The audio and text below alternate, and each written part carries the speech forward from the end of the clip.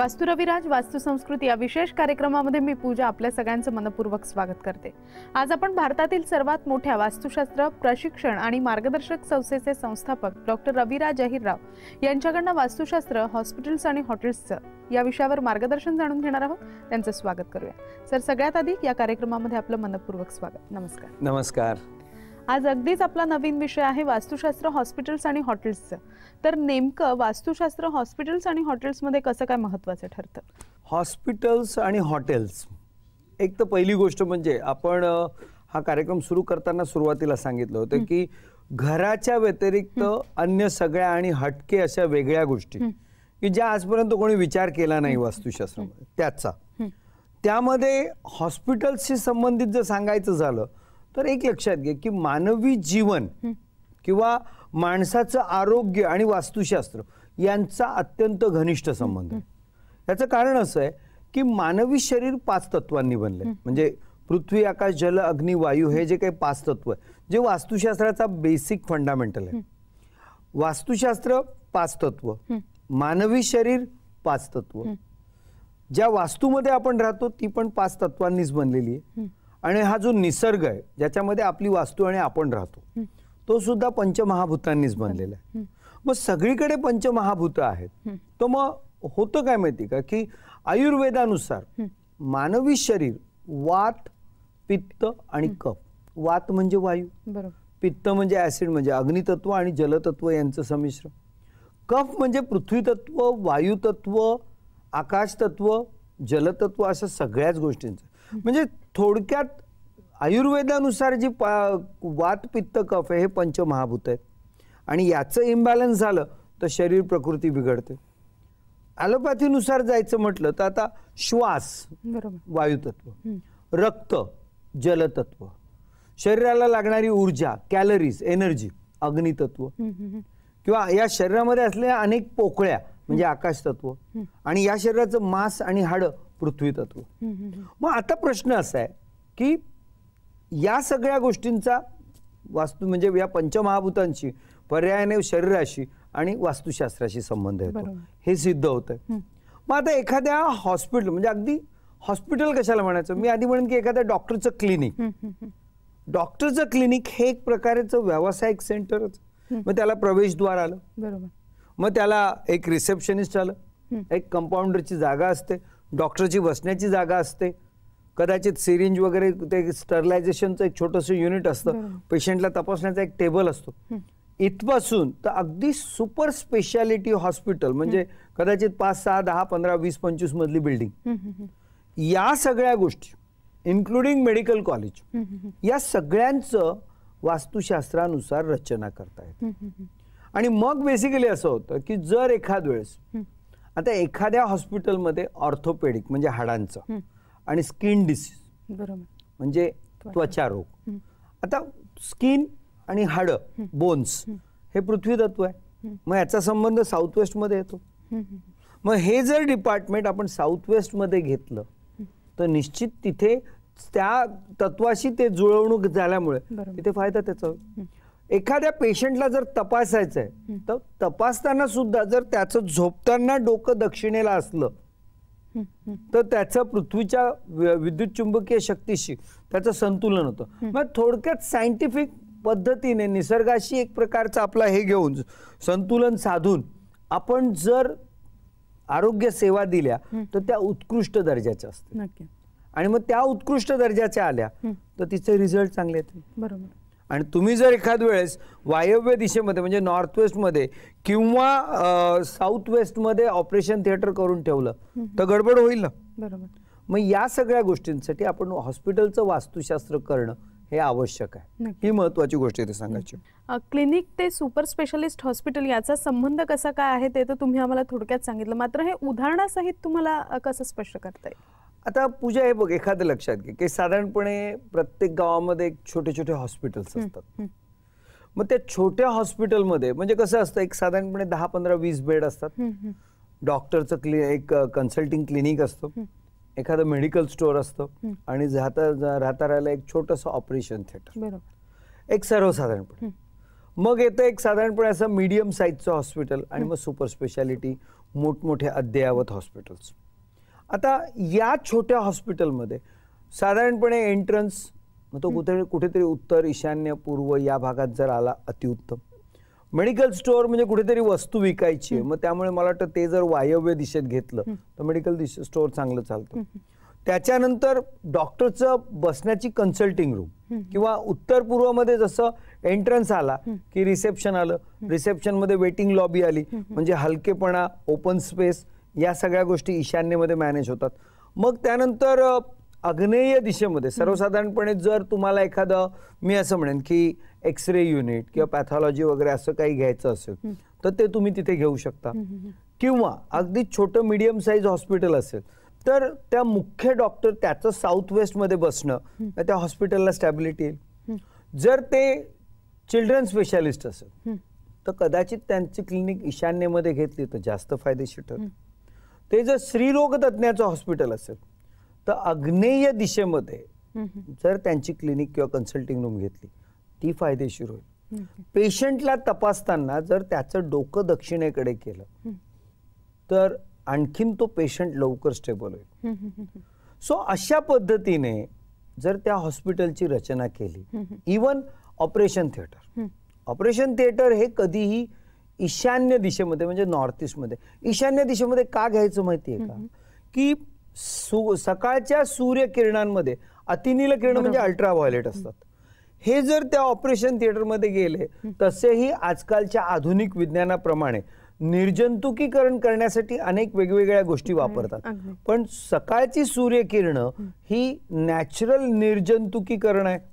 मग या पद्धतीने जर तुम्ही हॉस्पिटलची रचना केली तर दी बेस्ट होईल. आणि तेच जर तुम्हाला मी सांगतो की त्या हॉस्पिटलचा जो प्रमुख आहे तो ईशान्येमध्ये बसला नॉर्थ ईस्टला त्याचा प्रभाव नाही पडणार.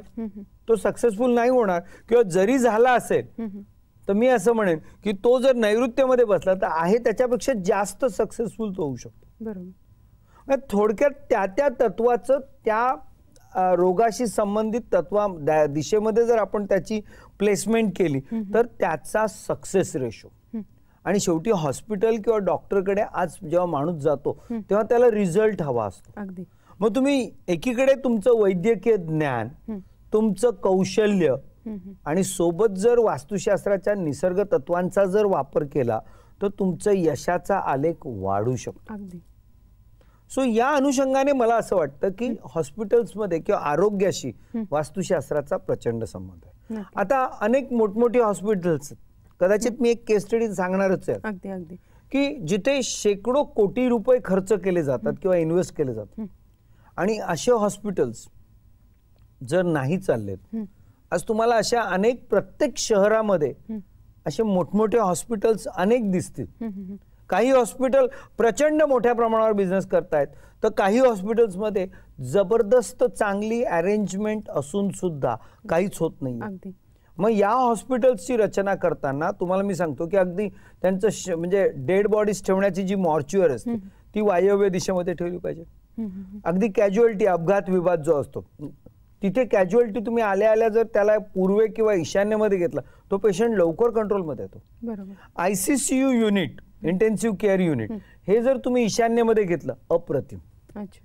जसं मगाशी म्हटलं ऑपरेशन थिएटर ईशान्य दी बेस्ट किंवा मग आग्नेय सेकंड बेस्ट चान्स या पद्धतीने प्रत्येक डिपार्टमेंट मी तुम्हाला सपोज एक मोठं सुपर स्पेशालिटी हॉस्पिटल असेल तर प्रत्येक डिपार्ट प्रत्येक डिपार्टमेंट एकेका मजल्यावर आणि मग त्याच्यामध्ये मग प्रमुख नैऋत्येला आग्नेयाला अग्निशी वायव्याला वायुतत्वशी अशा सगळ्या गोष्टींची जी रचना केली कॅन्टीन पॅन्ट्री लॉन्ड्री वगैरे. तर अतिशय ते हॉस्पिटल तिथलं वातावरण प्रसन्न. होतं. निसर्गाशी त्याचा समतोल चांगला असतो. यश चांगलं मिळतं. नक्कीच. सो म्हणून हॉस्पिटल्स आणि वास्तुशास्त्र यांचा घनिष्ठ संबंध. हॉस्पिटल्स आणि वास्तुशास्त्राचा कसा काही संबंध आहे ते तर तुम्ही आम्हाला सांगितलं. मात्र हॉटेल्स आणि वास्तुशास्त्राचा सुद्धा संबंध कसा आहे ते सुद्धा जाणून घ्यायचं एका छोट्याशा विश्रांतीनंतर एक छोटीशी विश्रांती घेऊन आपल्या कार्यक्रमामध्ये आपण लगेचच भेटतोय. तुम्ही कुठेही जाऊ नका पाहत राहा आमचा विशेष कार्यक्रम वास्तू रविराज वास्तू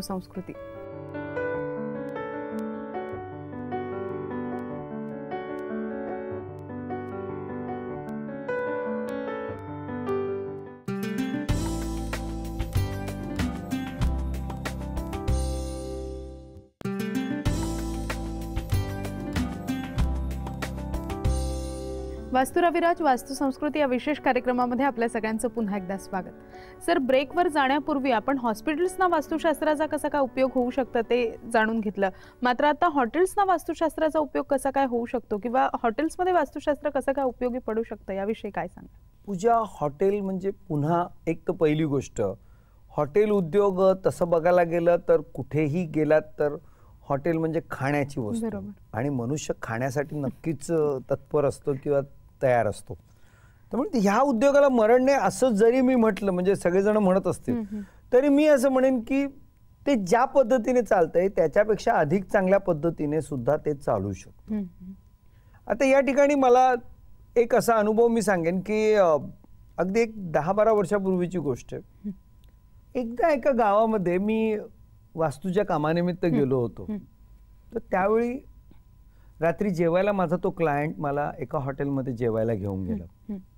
मी त्या हॉटेलमध्ये प्रवेश केल्याबरोबर मला तिथे काहीतरी असं विचित्र जाणवलं. मला तिथे काही कम्फर्टेबल वाटत नव्हतं. त्यामुळे मी बसलो आमची जेवणाची ऑर्डर दिली. माझी अस्वस्थता कंटिन्युअसली वाढत होती. न राहून मी हॉटेलच्या मॅनेजरला शेवटी माझ्या टेबलजवळ बोलवलं. आणि मी त्याला विचारलं की बाबा रे या हॉटेलच्या जवळ किंवा इमिजिएटली पाठीमागे एखादं हॉस्पिटल आहे का? तर त्यावर तो म्हणाला हो आहे. त्या गावात मी पहिल्यांदा गेलोय. नॅचरली त्या हॉटेलमध्ये सुद्धा मी पहिल्यांदाच गेलोय. बरोबर. पण त्या हॉटेलमध्ये गेल्यावर मला कुठेतरी हॉस्पिटलची किंवा तिथल्या त्या पल्स व्हायब्रेशन एनर्जी लेवल्स मला डिस्टर्ब करत होत्या. आणि त्याचा डिस्टर्बन्सचा तो संबंध त्या हॉस्पिटलशी होता. बरोबर. हे. मला कुठेतरी जाणवत होतं. आणि मी ते सत्य म्हणजे थोडक्यात काय सांगायचंय की ही सगळी सत्य पडताळणी कशामुळे झाली? तर त्या वास्तूमधल्या त्या व्हायब्रेशन. त्यातल्या निगेटिव्ह एनर्जी त्यामुळे. आणि मी त्या माणसाला बाहेर पडल्यानंतर बाबा रे या हॉटेलवाल्याला जर तो तुझ्या ओळखीचा असेल तर त्याला सांग की हे हॉटेलची वास्तू काही ठीक नाहीये. बघ जरा.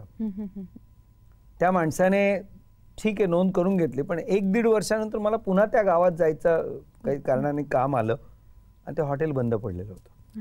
आता हॉटेल आणि वास्तुशास्त्र याचा दुसरा टेक्निकली किंवा वास्तुशास्त्राच्या अभ्यासात्मक पॉईंट ऑफ व्ह्यू बघायचं झालं हॉटेलमध्ये किचन असतं. प्रवेशद्वार असतं. एक काउंटर असतो. जनरली शेट्टी लोकांचं हॉटेल असेल तर तिथे एक छान सुंदर सजवलेला आकर्षक देवघर असतं. लोकांना बसण्याची जागा असते म्हणजे टेबल खुर्च्या वगैरे. आणि महत्वाची गोष्ट म्हणजे हॉटेलसाठी लागणारं साहित्य जे काही फूड प्रॉडक्ट सगळे. तो साहित्याचा साठा ठेवण्यासाठी एखादं स्टोअर असतं. त्याच्यानंतर डीप फ्रीजर असतात फ्रीज असतात अशा सगळ्या गोष्टी असतात. आणि शिवाय खरकटी भांडी धुणी स्वच्छ करण्यासाठी एक स्वच्छतागृह असतं. हम्म. मग या सगळ्या गोष्टींना सुद्धा वास्तुशास्त्रामध्ये जागा आहे ना? बरोबर. मग त्या हॉटेलचं बेसिकली जर प्रवेशद्वार उत्तर पूर्व ईशान्य या भागात घेतलं. सक्सेस निश्चित मिळेल. बरोबर.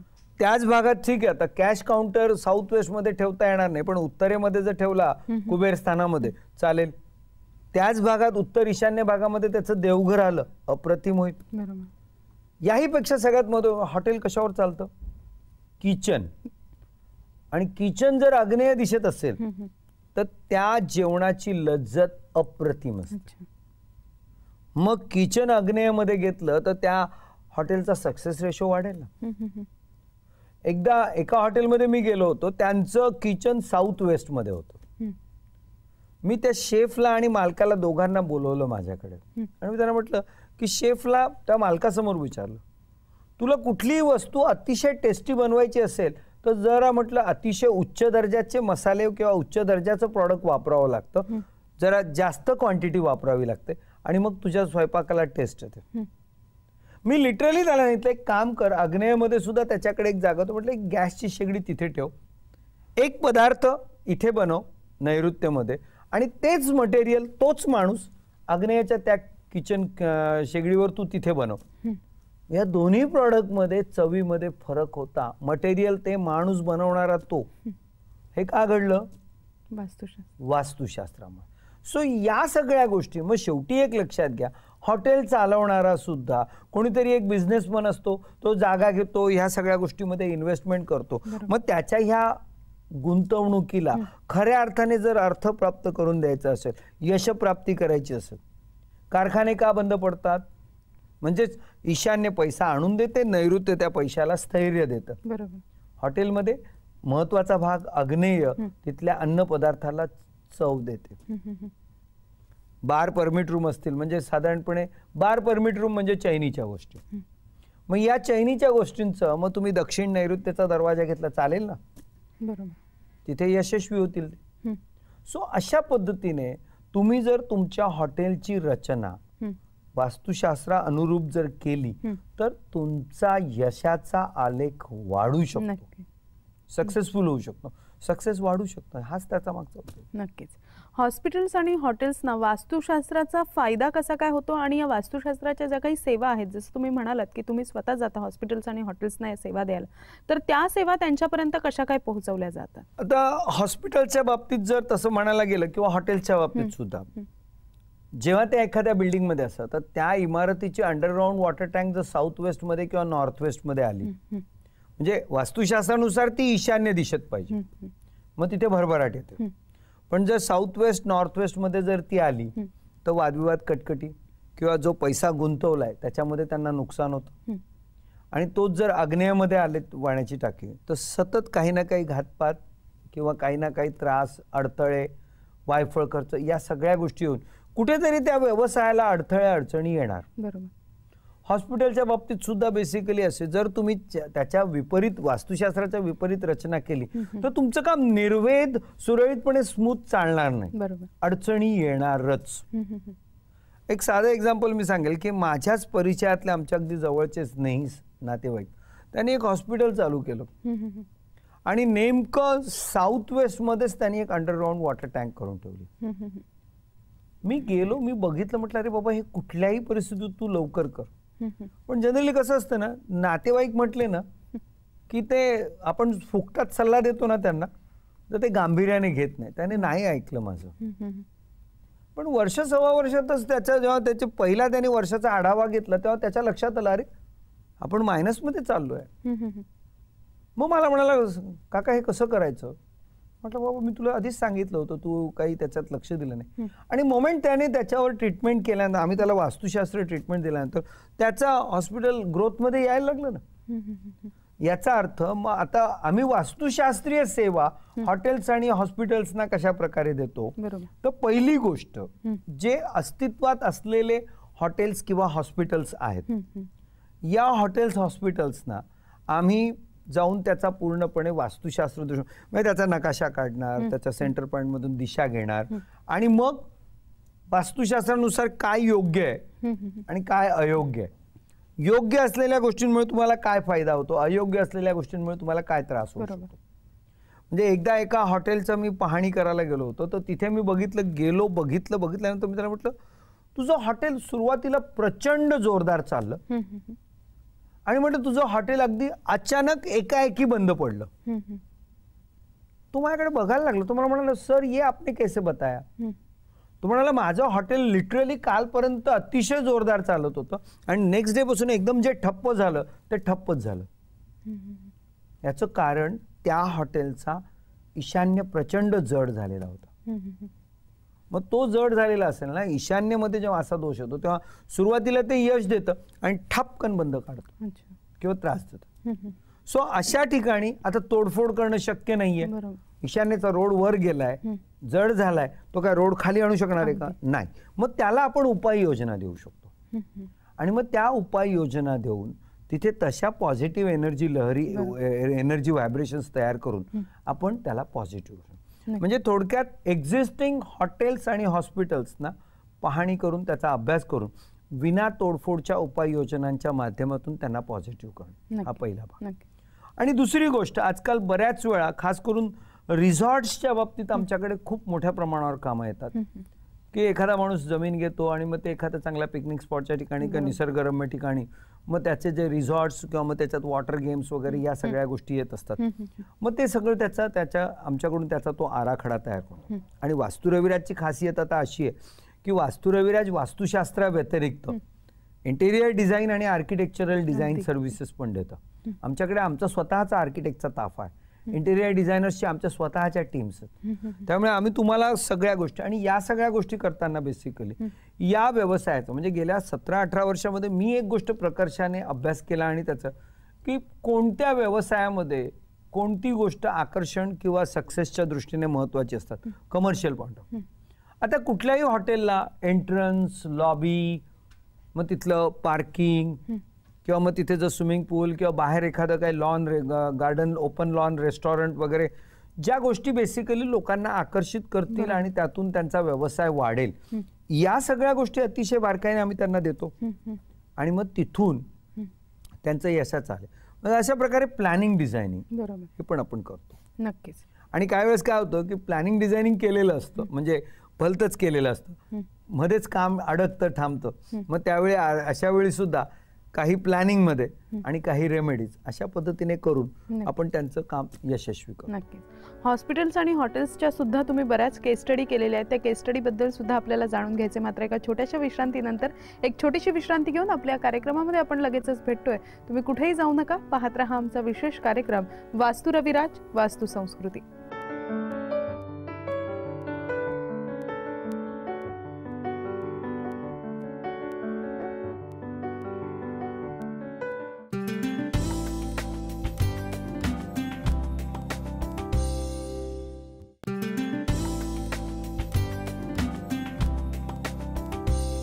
वास्तू रविराज वास्तू संस्कृती या विशेष कार्यक्रमामध्ये आपल्या सगळ्यांचं पुन्हा एकदा स्वागत. सर आतापर्यंत तुम्ही हॉस्पिटल्स आणि हॉटेल्सच्या बऱ्याचशा केस स्टडीज केलेल्या आहेत. तर अशा काही हॉस्पिटल्स आणि हॉटेल्सच्या केस स्टडीज तुम्हाला आम्हाला सांगता येतील?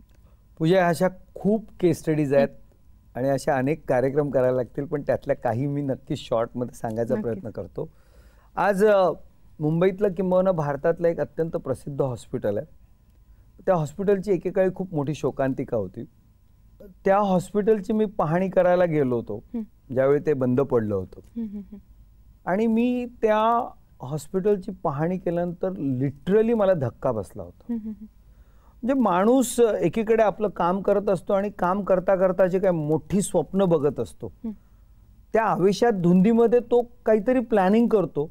त्या प्लॅनिंगमध्ये मोठ्या चुका करून ठेवतो आणि आपण म्हणतो खड्ड्यात पडलं नाही तो अक्षरशः स्वतःला एखाद्या दरीत पाडून घेतो. अशी त्या हॉस्पिटलची कंडिशन होती पहिली गोष्ट म्हणजे असं होतं की त्या हॉस्पिटलला त्याचा जो एंट्रन्स होता हा साधारणपणे दक्षिण पश्चिम भागात होता. त्या हॉस्पिटलला त्यांनी दोन बेसमेंट घेतले होते. आणि हे दोन बेसमेंट पहिली गोष्ट म्हणजे वास्तुशास्त्राला बेसमेंट मान्य नाही. ह्या दोन बेसमेंटमध्ये त्यातल्या साऊथ वेस्टच्या भागामध्ये त्यांनी साडेसात लाख लिटर पाण्याच्या फर्स्ट बेसमेंट आणि सेकंड बेसमेंटमुळे अशी मोठी पाण्याची टाकी पहिली गोष्ट म्हणजे साऊथ वेस्टमध्ये खड्डा पाणी म्हणजे गंभीर वास्तुदोष. त्यात साडेसात लाख लिटरची कारण बावीस मधली इमारत आहे ती. बरोबर हम्म. साडेसात लाख लिटर पाण्याची टाकी म्हणजे केवढा प्रचंड गंभीर वास्तुदोष. शिवाय त्याच साऊथ आणि वेस्टच्या रिजनमध्ये त्यांनी मृत म्हणजे मृतदेह ठेवण्याचे जे शवागार असतं मॉर्च्युरी ती पण साऊथ वेस्टमध्ये घेतली. ती चुकीची होती. एक लॉन्ड्री त्यांनी प्लॅन केली होती. ती पण साऊथ वेस्टमध्ये घेतली होती. आणि ग्राउंड फ्लोअरला एंट्रन्स नंतर लगेच डाव्या हाताला त्यांनी एक असं मोठं प्रचंड मोठं असं सभागृहासारखं हॉल घेतला होता. जिथे त्यांची अपेक्षा होती की अशा मोठमोठ्या मेडिकल कॉन्फरन्स ते करतील. आणि एका वेळी पाच हजार डॉक्टर बसतील. असं पाच हजार कॅपॅसिटीचं एक हॉल साऊथ वेस्टमध्ये म्हणजे साऊथ वेस्ट हलका झाला ना. बरोबर. त्यामुळे लिटरली मी तुला या व्यतिरिक्त त्या बावीस मधली इमारतीमध्ये आणखीन बरेच वास्तुदोष होते. म्हणजे आठ मजल्यापर्यंत ती बिल्डिंग अशी मोठी होती. आणि त्याच्यानंतर वरचे जे चौदा मजले होते ते आतमध्ये मध्यभागी होते. पण ते तो जर भाग पश्चिमेकडे आला असता तर ते बरं झालं असतं पश्चिम जड. त्यांनी पूर्व जड करून ठेवली. आणि पूर्व जड झाल्यामुळे सुद्धा काम बंद पडतं. अच्छा. लिटरली ते हॉस्पिटल सुरुवातीला उभं राहता राहताच त्याची प्रचंड शोकांतिका झाली होती मग नंतर ते एका मोठ्या उद्योग समूहाने घेतलं. पण त्यांना सुद्धा ते चालू करता करता नाकी नऊ आले होते आणि या सगळ्या गोष्टींमध्ये वास्तुशास्त्र हाच एक मेजर फॅक्टर होता जे त्याच्या यशाला घातक ठरला होता.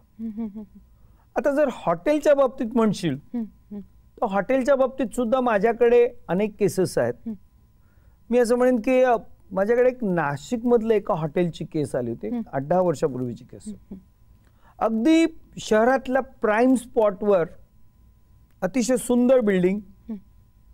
पण ती बिल्डिंग म्हणजे बेसिकली बाहेरून बघायला तर सगळं आकर्षक दिसतं पण त्यात वास्तुदोष प्रचंड गंभीर होते. म्हणजे एकतर ज्याला असं वाय जंक्शन म्हणतो दोन रस्ते दोन बाजूला फिरणं आणि त्याच्यामध्ये ती बिल्डिंग येणं अशी ती होती. आणि त्या वाय जंक्शनच्या कॉर्नरला एक पेट्रोल पंप होता.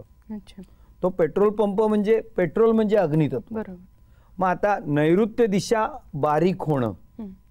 म्हणजे कट होणं म्हणजेच तुमच्या इन्व्हेस्टमेंटला घातक ठरणं. त्यात तिथे अग्नितत्व येणं म्हणजे तुमची इन्व्हेस्टमेंट अक्षरशः खड्ड्यात जाणं. असा सगळा प्रकार. आणि त्यात तो वाय जंक्शन. वाय जंक्शनवर जी बिल्डिंग येते ना त्यांना कधीच यश मिळत नाही.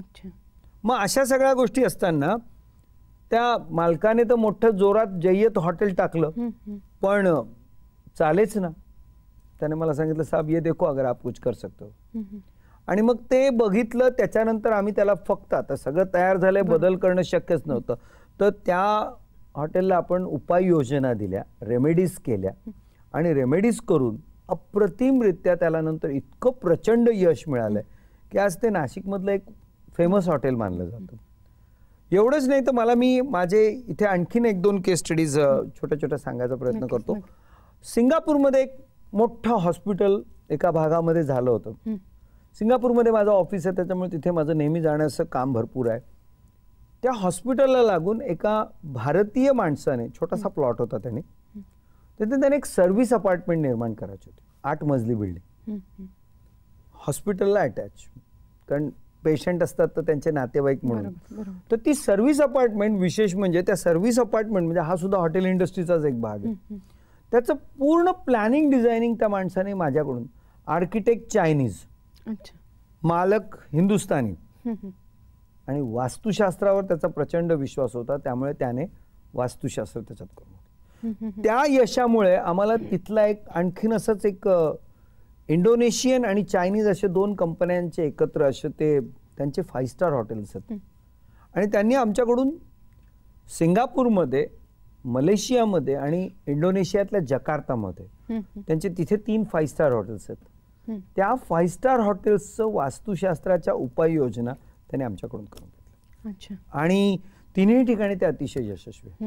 म्हणजे थोडक्यात मी असं म्हणेन की भारत असू दे नाही तर आणखीन कुठलाही देश जगात सगळीकडे वास्तुशास्त्र हे सर्वीकडे सारखं आहे आणि ते इफेक्टिव्ह आहे हेच मला सांगायचं नक्कीच. सर केस स्टडी बद्दल तर आपण आता बोललोच मात्र अशाच प्रकारे मार्गदर्शन सुद्धा तुमच्याकडनं बऱ्याच उद्योजकांनी आणि व्यावसायिकांनी घेतलेलं आहे. त्यातलेच एक श्री नायक यांची प्रतिक्रिया सुद्धा आपल्याला जाणून घ्यायची मात्र एका छोट्याशा विश्रांतीची वेळ झालेली आहे. एक छोटीशी विश्रांती घेऊन आपल्या या कार्यक्रमामध्ये आपण लगेचच भेटतोय. तुम्ही कुठेही जाऊ नका पाहत राहा आमचा विशेष कार्यक्रम वास्तू रविराज वास्तू संस्कृती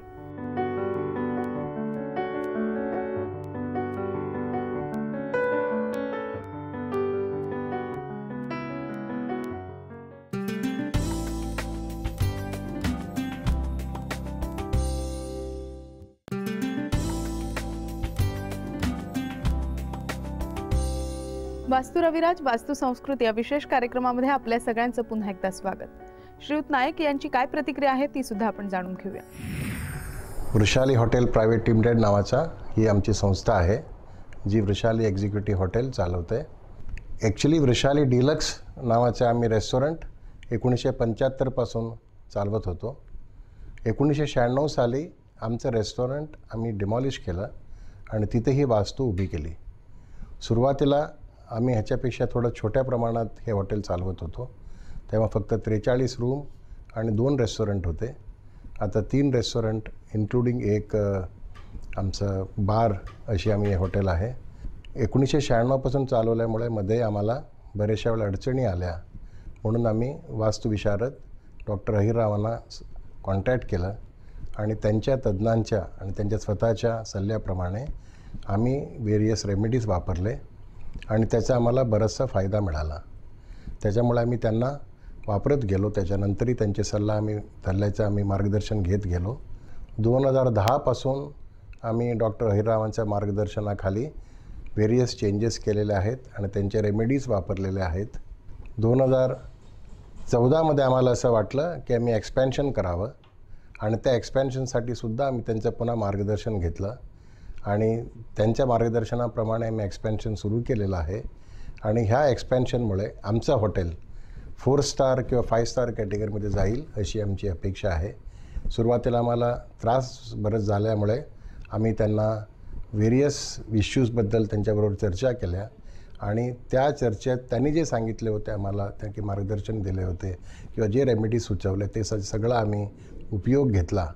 आणि आत्ता आमचं काम व्यवस्थित सुरू असून साधारणतः दोन महिन्यामध्ये आमचं एक्सपॅन्शन पूर्ण होईल अशी आमची अपेक्षा आहे. आणि इवन दोन हजार चौदामध्ये आमच्या हॉटेलबरोबरच आम्ही दुसरं हॉटेल ज्योतिबा नावाचं चालवायला घेतलेलं आहे. त्याच्यासुद्धा आम्ही त्यांचं मार्गदर्शन घेतलं आणि ते हॉटेलसुद्धा आता फार चांगल्या पद्धतीनं चालू आहे. डॉक्टर रविराज आईराव यांचं हॉटेलमध्ये सल्ल्यानंतर जे यश आम्हाला मिळालं किंवा जे समाधान मला मिळालं मी ह्यांच्यावर डिस्कस करून म्हटलं आपण घरी पण त्यांचे काही ती मार्गदर्शन घेऊया. तर त्याप्रमाणे डॉक्टर आले त्यांचे तज्ज्ञ आले त्यांनी घराचं सगळं परीक्षण म्हणतात ते केलं आणि त्यांनी सुचवल्याप्रमाणे मुख्य म्हणजे आम्ही आमचं देवघर चेंज केलं. त्याच्यानंतर खूपच खूपच समाधान घरात सगळ्यांना तब्येतीचे काही प्रॉब्लेम्स असतील ते पण गेले. मुलांचा पण समाधानकारक उत्कर्ष झाला. आणि सगळा आनंदी आनंद झाला. आणि मुख्य म्हणजे डॉक्टरांचं काय आहे की त्यांनी कुठेही तोडफोड असं काही सांगितलंच नाही. छोट्या छोट्या चेंजेस किंवा त्यांच्या रेमेडीज ज्या आहेत ते त्यांनी आम्हाला सुचवले आणि आम्ही त्या तंतोतंत पाळल्या. सर आताच आपण श्रीयुत नायक यांची प्रतिक्रिया पाहिली त्यांचं थोडक्यात विश्लेषण. नायक हे एक अत्यंत यशस्वी असे हॉटेल उद्योजक आहे. एक मोठं थ्री स्टार हॉटेल त्यांचं आहे. पहिल्या कालखंडामध्ये ते खूप चांगलं चालत होतं. पण नंतर हळूहळू त्यांच्या अडचणी वाढायला लागल्या. म्हणजे हॉटेल तेच मॅनेजमेंट करणं मॅनेजमेंट पण तीच सगळ्या प्रकारच्या सर्व्हिसेस अतिशय उत्तम. किंबहुना वेळोवेळी त्यांनी आपल्या या सगळ्या गोष्टींचा आढावा घेऊन सुद्धा त्यांना कुठेही कमतरता जाणवत नव्हती. मग अशा प्रकारची तफावत किंवा यशामध्ये डाऊनफॉल का होतोय? हा. त्यांच्याकडे एक प्रश्न त्यांना सारखा भेडसावत होता.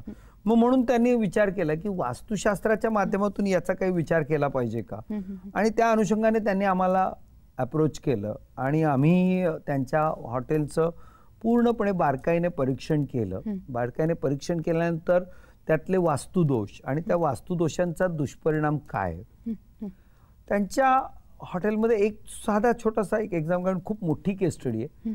त्यांचा ईशान्य भाग वाजवीपेक्षा थोडा जास्त उंच केला गेला होता आणि त्याच्यामुळे तो जड झाला होता. आणि जेव्हा तो असा ईशान्य जड होतो तेव्हा नॅचरली गाडीला ब्रेक लागायला लागतात. किंवा गाडीचा स्पीड कमी होतो. मग अशा काही गोष्टींना आम्ही त्यांना तिथे ट्रीटमेंट दिली उपाययोजना केल्या आणि त्यानंतर त्यांना खूप चांगले रिझल्ट आले. असं परिस्थिती झाली की त्यांनी बाजूची जागा विकत घेऊन ते आता तिथे मोठ्या प्रमाणावर एक्सपान्शन करतायत. अच्छा. मग आता हे एक्सपान्शन करताना सुद्धा त्यांनी आम्हाला सगळा बारकाईने सल्ला घेतला. आणि नवीन इमारत आणि त्यातल्या सगळ्या गोष्टीची रचना. Design as well as remedies दोन्ही माध्यमातून त्यांनी आमच्याकडून ते परफेक्ट करून घेतलंय. And today he is happy कदाचित आता लवकरच ते तिसरं हॉटेल चालू करतात. नक्कीच नक्कीच.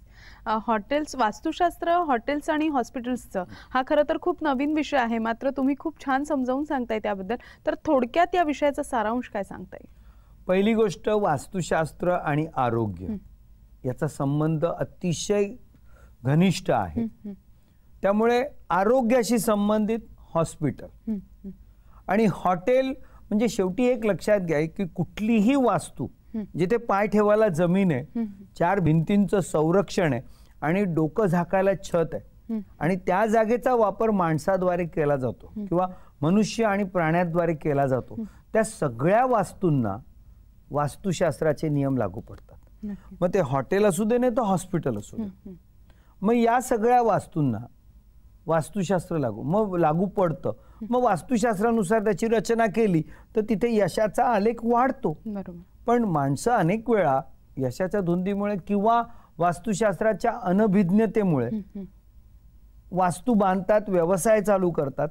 पण नंतर जेव्हा प्रॉब्लेम्स यायला लागतात.